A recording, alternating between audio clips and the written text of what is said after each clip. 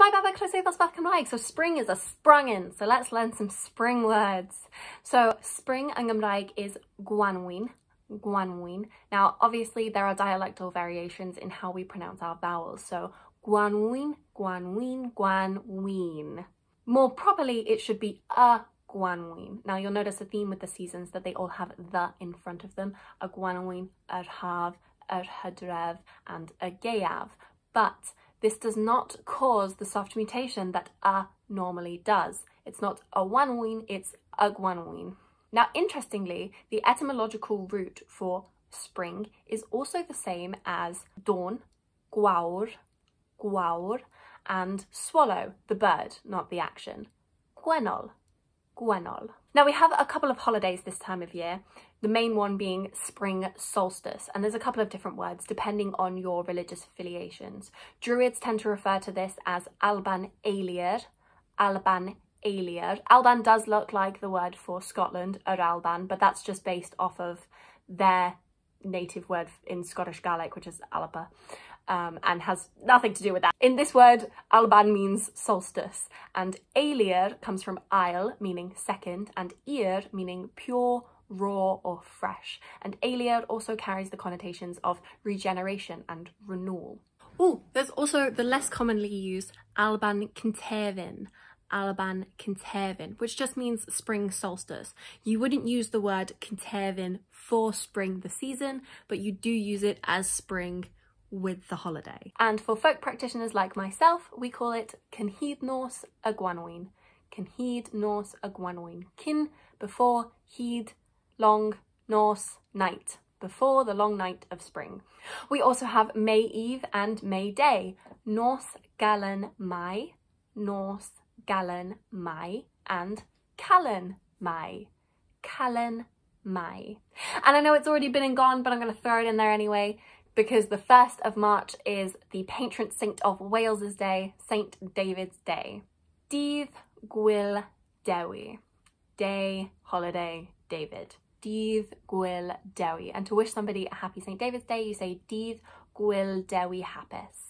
In some dialects, they drop the gwyl though, so Dydd Dewi, Dydd Dewi Hapus are also perfectly acceptable. So now let's look at the months of spring. Now in formal Welsh, you would put mis, meaning month, at the beginning of the name of each month.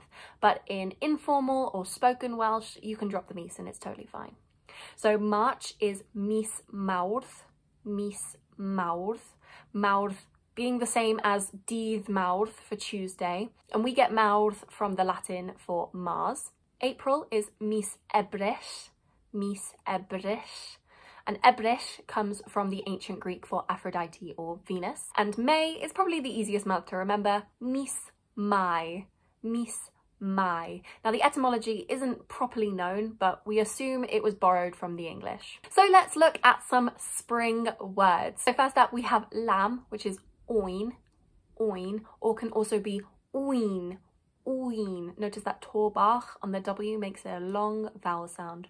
Oin. Now, if you're talking about lamb, the meat, you would say keeg oin, keeg oin, lamb meat. Keeg means meat. But you would not use oin. You would use oin. It's not keeg oin, it's keeg oin.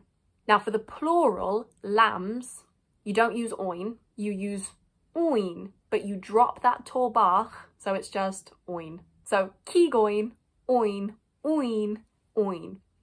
A little bit confusing. Sheep is dafad, dafad, and the plural is defaid, defaid. Now flower in Welsh has two different words. You can either say blodyn, blodyn, and a lot of people use this version as a pet name or a term of endearment, but you can also use the word which is the same for flower and blossom, which is blodean, blodean, or depending on the dialect, blodauyn, blodauyn. And the plural flowers is blodau, blodau. Now, meadow, dale and valley all share the same word, dol, dol. Again, notice that to bach, a long vowel sound, dol. And again, for the plural, we drop the to bach and it becomes dolath, dolath, or dolai, dolai. So a very important flower of this time of year is the daffodil, our national flower. Now the Tenby daffodil is the specific daffodil, but uh, any daffodil will do this time of year. We, we love our daffs in Cymru. Literally all the daffs. So many daffs. So the daffodil actually shares the same name as the leek, which is another national symbol of the country, but it translates to Peter's leek. So you have Cenhinen, Cenhinen Bedr, Cenhinen Bedr, notice that soft mutation of the P to a B. And then the plural is Cennin Pedr, Cennin Pedr. And then we'll throw in birds as well. So bird is aderyn, aderyn, aderyn. And the plural birds is adar, adar. So I hope you enjoyed learning about y Gwanwyn. Diolch yn fawr iawn, yn wylio pawb wela i chi cyn bo hir. Hwyl fawr!